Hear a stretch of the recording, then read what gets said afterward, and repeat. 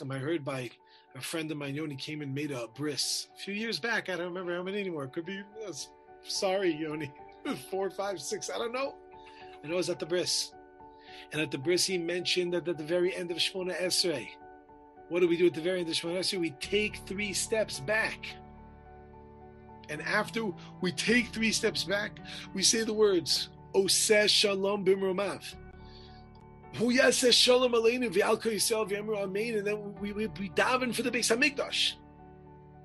What is this? What, what, what is this thing? We take three steps back. What's that all about? i'm Mefarshim discussed, but he, he mentioned the following, and forgive me again, I, I didn't have time to look the Mareh Mekomos.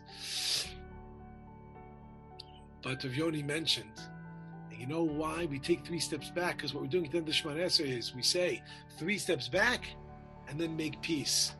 In order to make peace, sometimes we have to be willing to take three steps back.